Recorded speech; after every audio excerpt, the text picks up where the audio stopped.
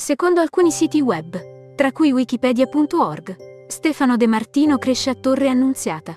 Muove i primi passi nel settore della danza all'età di 10 anni. Nel 2007 riesce ad aggiudicarsi una borsa di studio a New York, presso il Broadway Dance Center, grazie a cui ha l'opportunità di entrare in contatto con la danza moderna e contemporanea.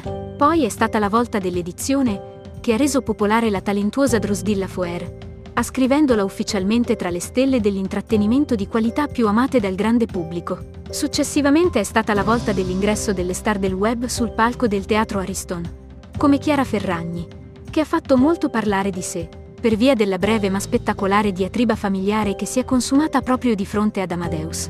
Il festival dello scorso anno ha attirato molto l'attenzione mediatica anche per la discussa esibizione di Blanco.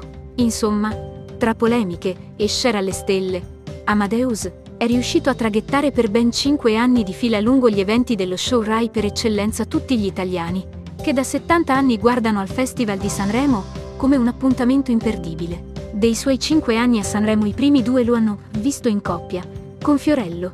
Ma il prossimo sarà l'ultimo Sanremo che porterà il volto di Amadeus, e da tempo si cerca di individuare il suo e il suo erede. Si era fatto il nome di Carlo Conti, ma adesso è spuntata un'indiscrezione tutta nuova. A quanto pare sarà Stefano De Martino, il conduttore del prossimo Festival di Sanremo. Come si legge sulle pagine di Nuovo TV infatti, l'ex di Belen Rodriguez sul tema ha risposto. Per fare Sanremo bisognerebbe avere qualche capello bianco, ma se me lo chiedessero direi di sì, magari rischiando di fare anche il passo più lungo della gamba. Dunque con umiltà e saggezza Stefano De Martino si è detto molto propenso alla conduzione. Chissà che cosa accadrà nella prossima edizione della gara canora più attesa dell'anno.